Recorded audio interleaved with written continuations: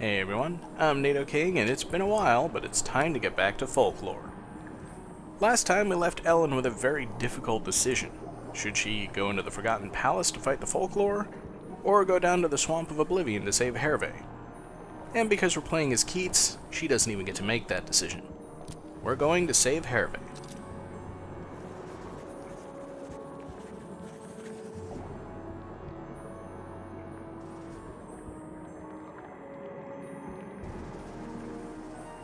So Ellen heads off into the palace.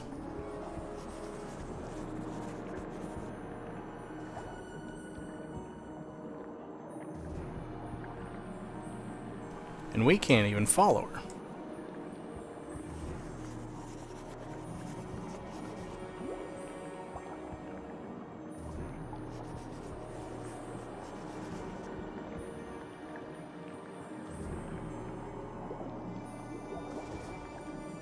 And so down we go, down this long, spiraling path.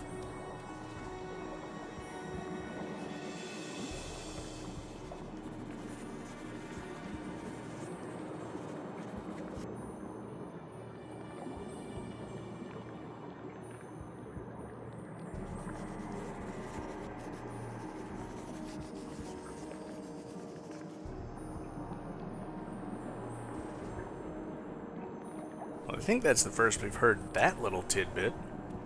Although I'm pretty sure that line was meant for Ellen and not Keats. I hate this entrance. It, it just doesn't look much like an entrance. But here we go, pressing into the Swamp of Oblivion to chase after Hervé. And the first thing we see are some familiar folks. So I'm gonna try to take these guys out from a distance, as usual. I didn't think they could drop ice blocks on my head. Ah, there's the culprit. It's a Selkie, one of our new folks for the chapter. And neither non-elemental nor destroy attacks seem to be affecting it all that much. Not drawing out its id with fire.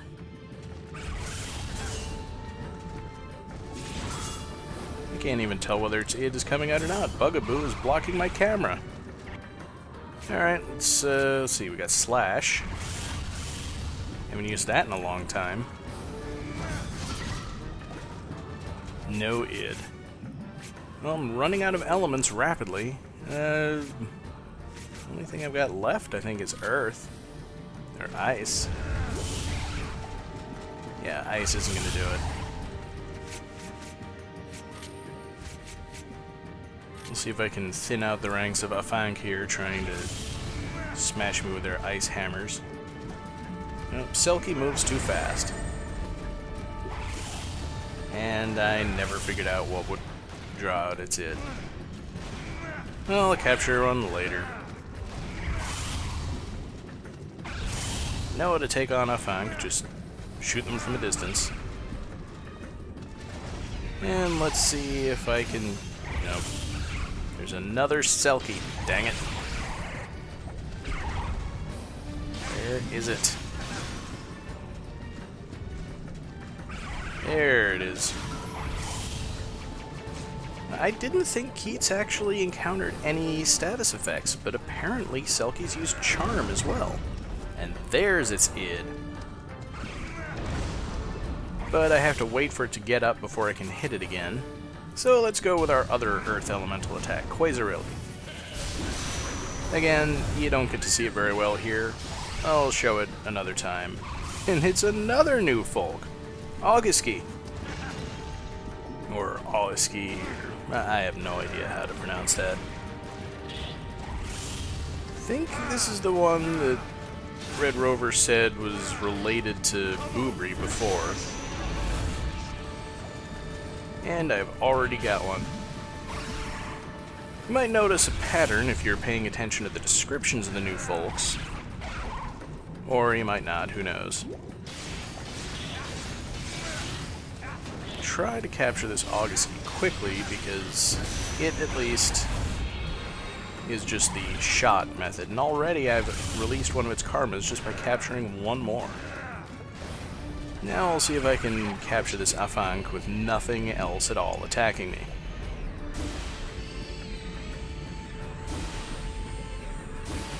Looks like I'm going to be successful for once.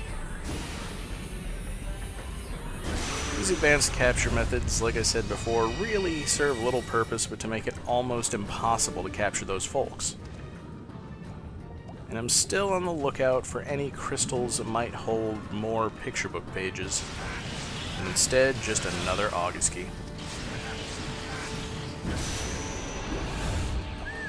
Pretty sure I need to capture more of them. I should probably check that. Still no crystals. So let's see, we can go straight ahead or off to this little tiny passage to the right. And I've got enough cold tree nuts. Let's build up Selkie. And I need to defeat 5 Urisk, not going to happen anytime soon. Nor probably is capturing more Selkies. Need to capture more Augusky, and that's all the folks I've got so far for this chapter.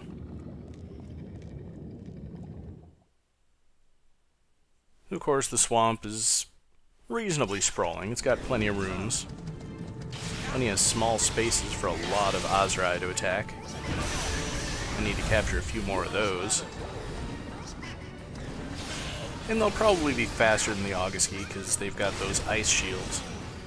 And as it turns out, the ice shields don't actually block attacks, they'll just damage me if I get too close.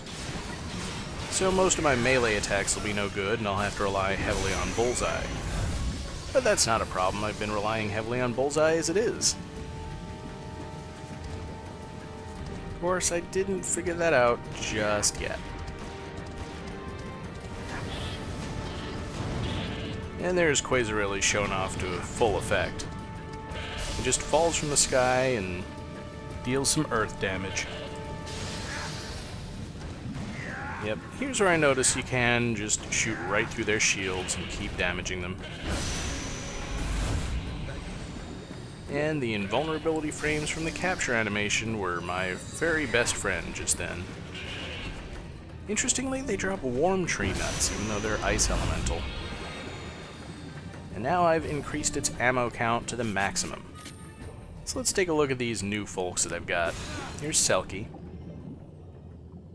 It says continuous discharge of icicles, but I can only make one of them appear. And Augusky is kind of a parabolic attack. Shoot some ice crystals up, and then they land in front of it in a spread pattern. I don't think either one of them is particularly useful, but I'm sure there are situations where I can do something with them. Having a lot of long-range attacks equipped is pretty handy for dealing with charging Ozrai. At least if you can hit them hard enough to break them out of their charge.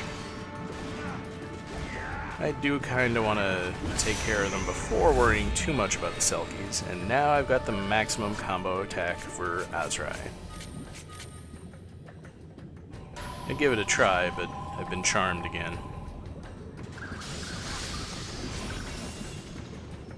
And I probably shouldn't mess around too much with non-Earth attacks on the Selkie because I need to capture them. The good news is, they don't really have a lot of hit points for surviving the Earth attacks. I can draw out their id very quickly. It's only if I want to defeat them that it takes a long time. I saw a crystal here somewhere before. Ah, there it is. And it is indeed a picture book page. So there's the full Ozrai combo, and as you can see it takes almost no MC to use. So this is us fighting Excedra. We shoot it out of the sky with Gargantua, and then burn it with Hinky Punk. And I'll certainly be sure to do that when the time comes. But I'm more interested in that passage off to the east there, sort of a dead-end looking path if ever I've seen one. And since we're still missing some stuff, we want to check out every room. I'd want to check out every room even if we had everything. Now we gotta fight some Augusky in a very small space. And I still need to absorb one more Selkie. Yep. five more Augusky which is plenty. I thought I was going to be out of range there, but you can't underestimate the spread of these guys' ice chunks. And when I don't need to do anything with, I can just beat them, capture them, whatever. At this point, I do need to defeat a bunch of Azrai with Anwen. And I'm dangerously low on hit points. Don't really want to risk getting killed at this point.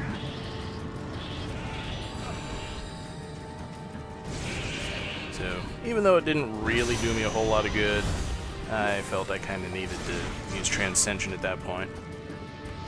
Beat a couple of enemies and hopefully get some life crystal drops.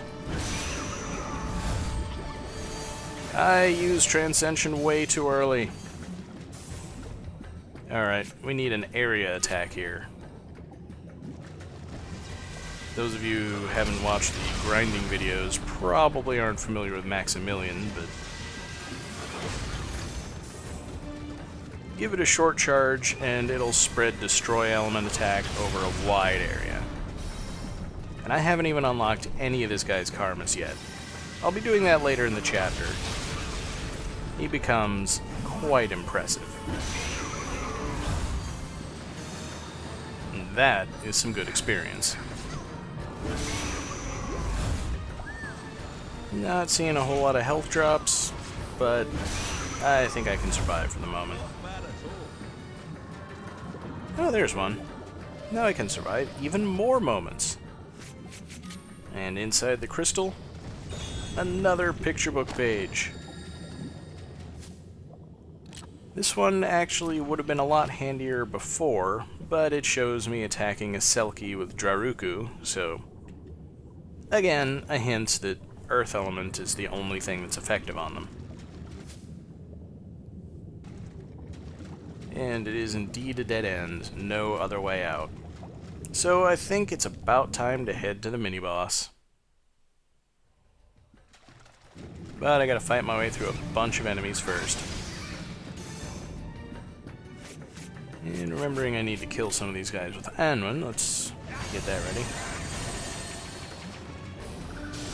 Problem is, once again, they tend to fall down at almost the slightest provocation, and then I gotta wait for them to get up before I can hit them again. They're not particularly weak to ice, so it takes a lot of attacks to get anything done. I'm gonna go for Pori against the Selkies because it's got a nice range. I think better than Draruku. And they both use up enough MC that I can only use them once at a time. So functionally, not a whole lot of difference that I can tell.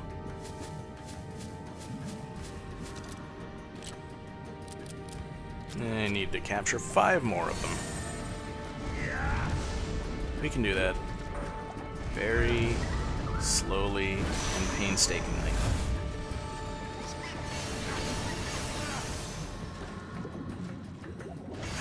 Anwen is always going to be a solid choice for Ice Element, I think. Well, at least for the duration of this video. So that's two out of five, I believe. Not really sure why I'm changing to a fire element here, because it's not an element-colored crystal. But yeah, this room actually has a second half with a couple of Afank in it, and probably some other enemies.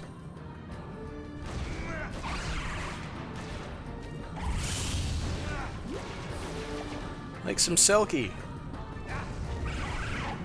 I don't think my fire attack is going to phase it very much. Unfortunately, Afank, I believe, are immune to Earth Element attacks, so I'm going to have to draw the Selkie out. Not too hard.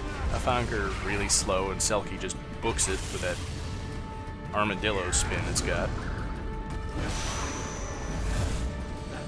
And now, back to Afang, where, for whatever reason, my bullseye is not aiming upward to hit them.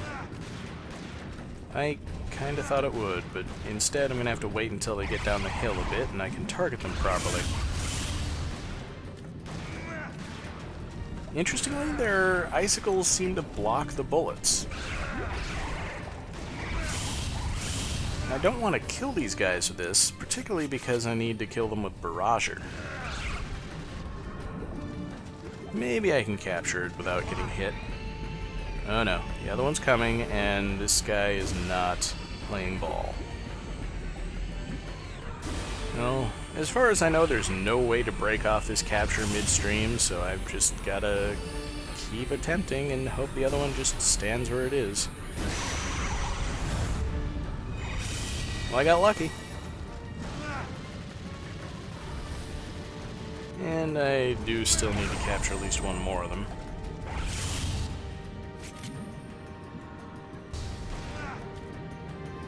So we'll go with the more ranged of the two attacks.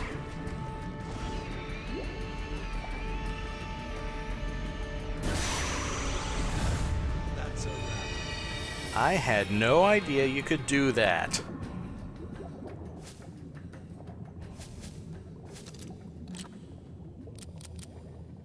So it's got a nice wide area effect, and I can't build it up again until I meet Boggarts, which I think is Chapter 5. That way leads back to the entrance. Oh, I'm a little under two-thirds of my health remaining, I think, but I know how to defeat Excedra, so it shouldn't be that hard.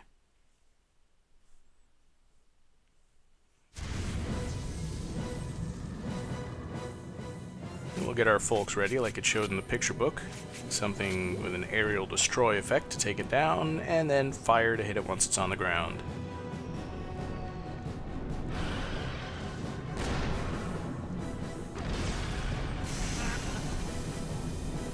And now I'm down to under half health.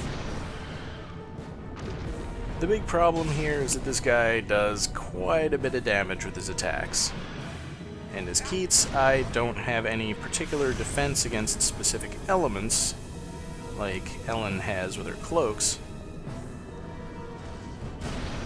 So I pretty much just gotta watch its patterns and be very grateful that the smoke lingering from a Gargantua attack still damages the enemy that I'm hitting it with.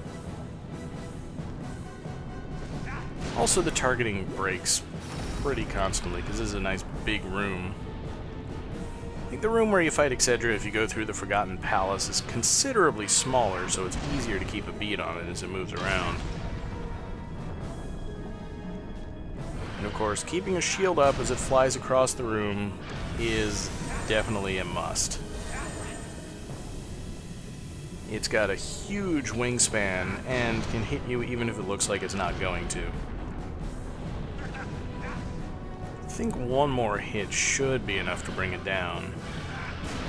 The problem is, if you get close enough to actually hit it out of the air with Gargantua, then you're close enough to be targeted with a lot of its attacks. There we go.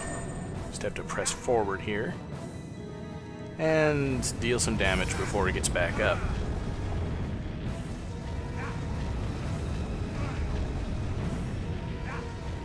One downside to this particular mini-boss, he's got a lot of health.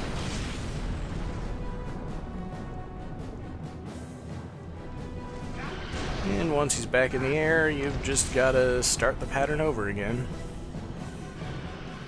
I think at this point you've seen most, if not all, of its attacks. And as long as you keep your distance and play defensively, there's little threat. Can basically just wait until it's swooped at you and then hit it as it recovers. About like that. Just stick an explosion out there and hope he flies into it. It makes the fight take a little longer, but it's really hard to get close enough once he's back up in the air to hit him with Gargantua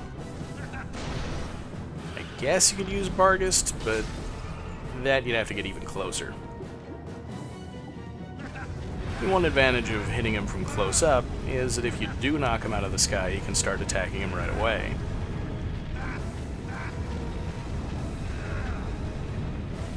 Otherwise, you're going to lose a few seconds running up to him. Not usually a deal breaker, but...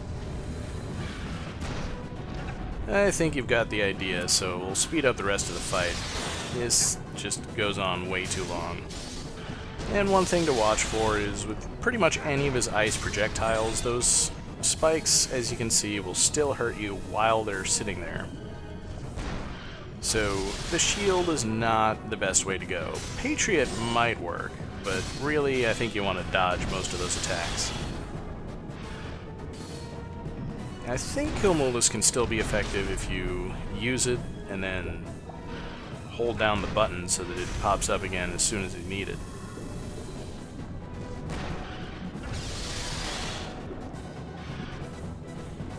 Otherwise, especially if you're at as low HP as I am, you've just got to stick with defense. We give Volcano a try, and that finally gets the job done. Surprisingly, we're not using our new capture method on this guy, it's just timing. Rather tricky timing. I think this guy is about as fast as Sheffro with the periods of turning red, and I'm trying to capture it all in one go. But I don't know what the timing is for that, and with nothing else in the room to attack you, it's just a matter of patience. So, it's a charge attack that shoots extra powerful ice blocks.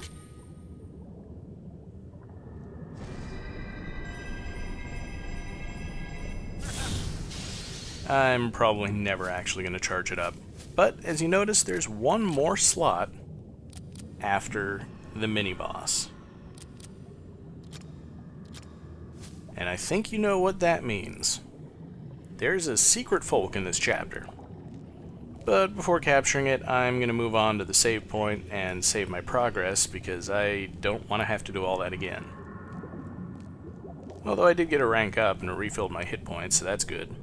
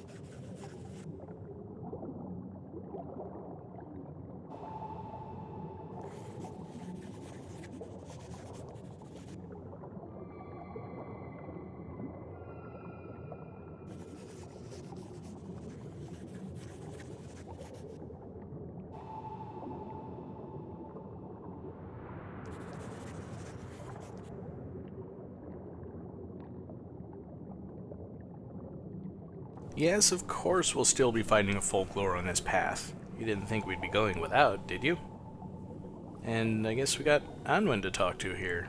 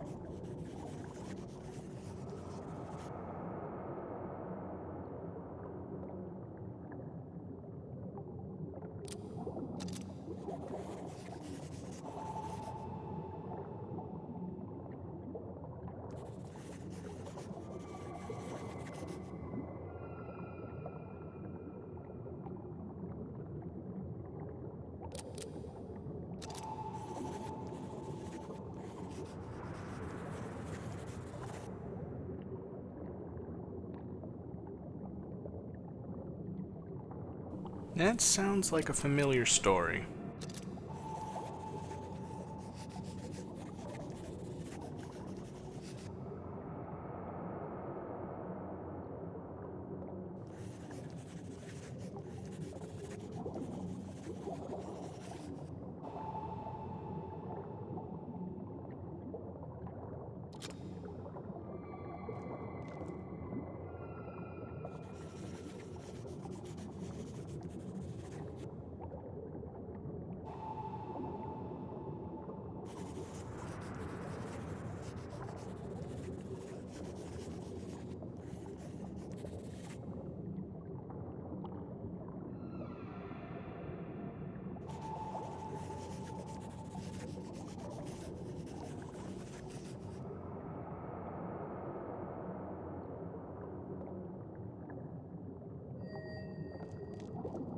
So there you have it. Brigantia, the folklore of the undersea city, is weak to ice and the folks of the fairy realm.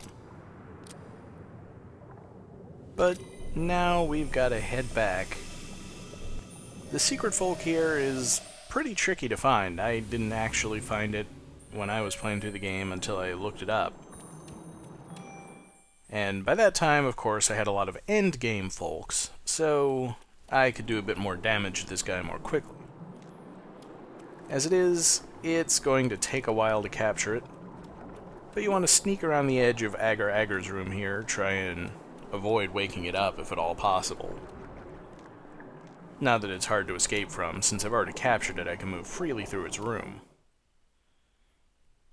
And when we return to the room where we first found Afank and where we found picture book page 3, it's now occupied by Kraken. And to be honest, Kraken is just a bigger and tougher Excedra. But since it's not officially a mini-boss, we get the normal fight music for it.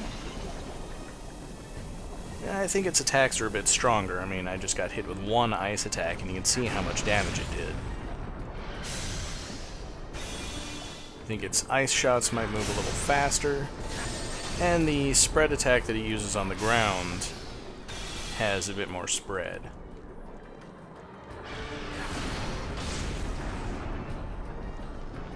The good news is I think it gives you more opportunities to hit it out of the air, so you can take it down pretty quickly most of the time. You'll just need to do this an awful lot. And it's even easier to dodge its attack while it's getting up. As you can see, one spread attack across the ground sends up four ice shards. Rather unpleasant, so I decided to pull out Agar Agar and try to conserve my hit points even when it does manage to damage me. Here I am running at four times the speed because this fight just takes forever. I think the raw footage for this fight was something like 8 or 9 minutes. And I'm not playing around, I'm actually being a lot more aggressive than is probably safe. The good news is it likes to swoop a lot, probably more than Excedra did, so I get a lot of opportunities to attack. And the normal fight music sounds kind of interesting sped up.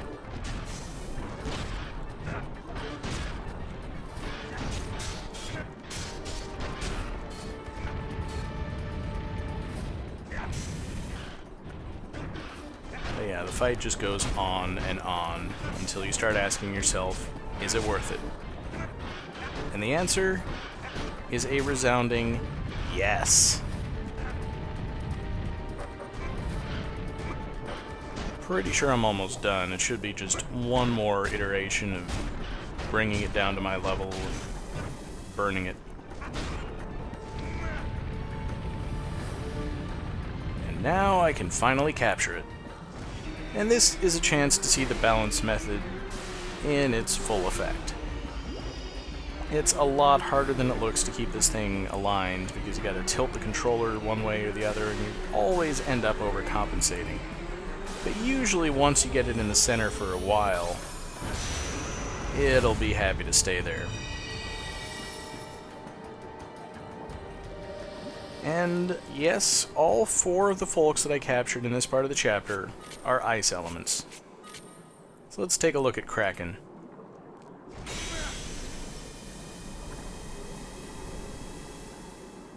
I don't care how impressive that looks, it's amazing. And we'll be seeing plenty of it in the next video. Because to build up its karma, we need to defeat 10 folks with it. And that can't easily be done in this chapter because almost everything here is immune to ice. Speaking of one thing that's not, now I do want to wake up Agar Agar. Take this! Okay, that was fun. Anyway, there are going to be a lot of quests for this chapter, and there's no way they're all going to fit in one video. So join me next time when we'll be doing the first half of the Undersea City quests. Until then, I'll see you guys later.